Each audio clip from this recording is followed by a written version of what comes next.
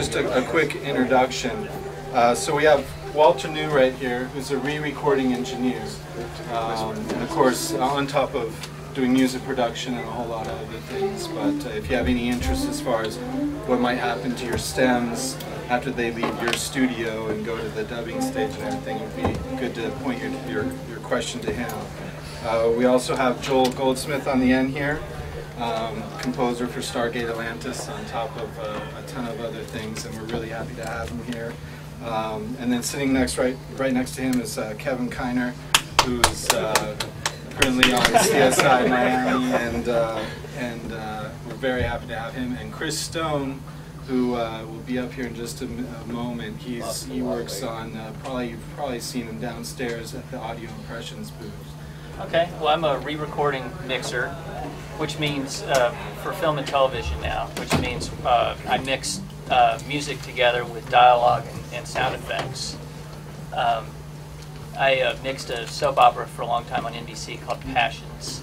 Lately, I've been doing a lot of independent movies. I just did one called Keith that has Jesse McCartney in it, and um, currently building a studio in my backyard. If anybody has any advice on that,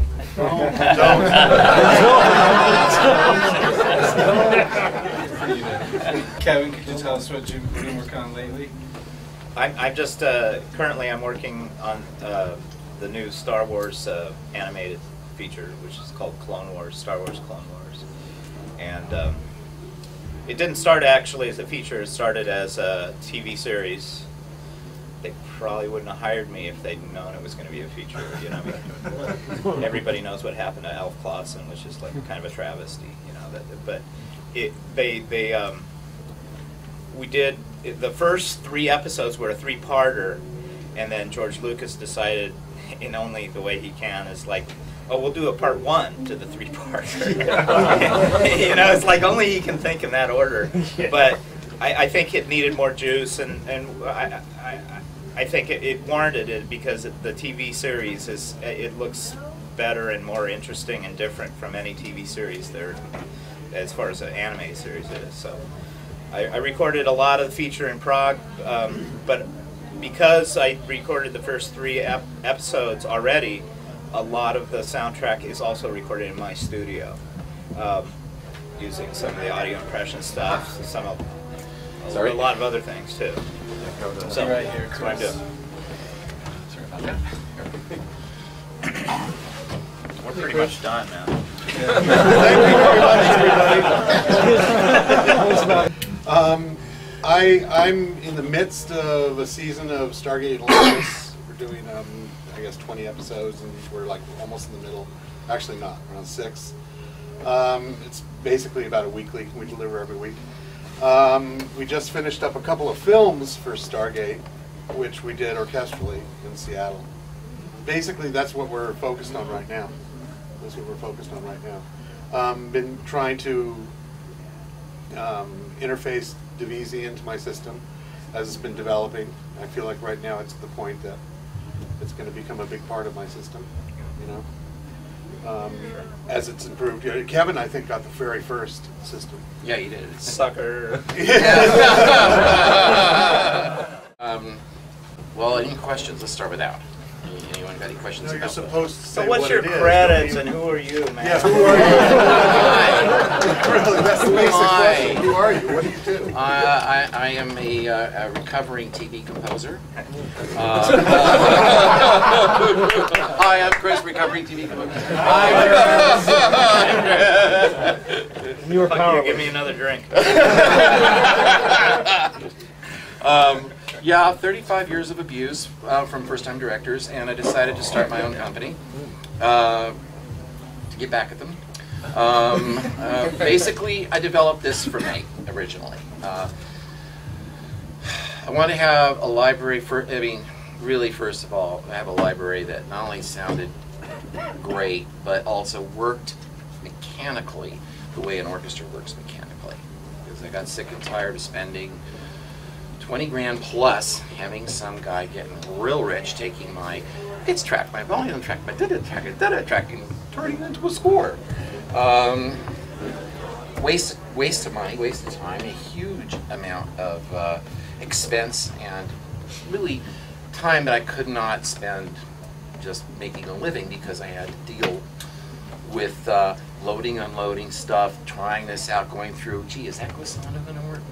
Let me go through, you know. Uh, quick, immediate, works way an orchestra works so you can print exactly what you've written, have it go without needing to go through expensive orchestration process. Because mechanically, it does real-time divisi, so when you play the chords, whatever you're playing, it actually parts out the chords the way an orchestra does. It's called subtractive polyphony as opposed to standard libraries, which are additive polyphony, the way an organ works. So this is why people have classically said, you know, when you start playing things that are really thick, it always said, "Boy, it really sounds like the Mighty Wurlitzer." Why?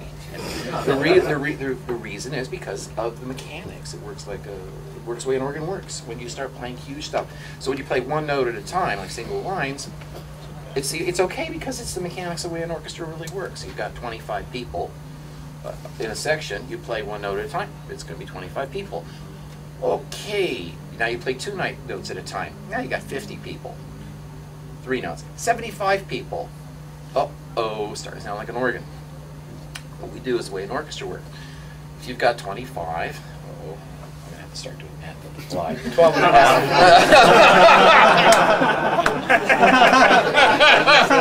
and when you play three notes, it's.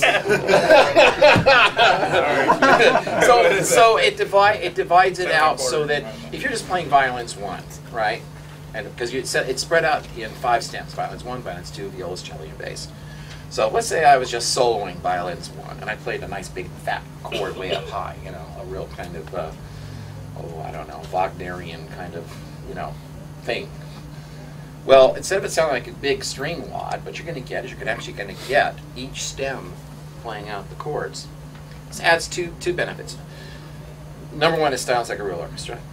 Number two, it's printable. Number three is that in your mix, it stays at a constant velo- at a constant volume. It's constant sound, power, volume, which is you don't have to constantly ride your volume. You know, like uh, I'm sure you notice that, like if you're just playing one note, so it's now say you're playing notes, ah, da, da, da, da, because it's adding up. So when you go to do a standard Bach-up, you know, your volumes are going like berserk. You know, so out comes Master X, you know, to make everything, you know, crushed down to where it's supposed to sound. You don't need that with this. You know, you go to play, you go to play a huge chord. It's the same basic volume as doing the same velocity with one note.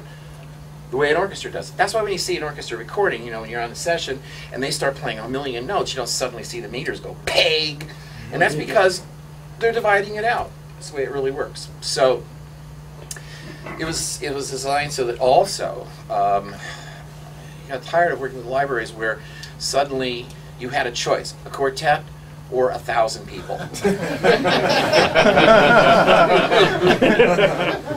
You know what are you supposed to do with a, a tv score comedy that needs mm. strings? Okay. You know so you, you're, you're, you're, you're left to maybe one or two whatever you know. With this you get to choose one desk at a time exactly the number of players you, you want to use. So if you're doing something that's more intimate, right, a smaller score, you don't want a, you know a mil, you know you don't want the LSO, you know you want a chamber group. Okay, fine, you dial in.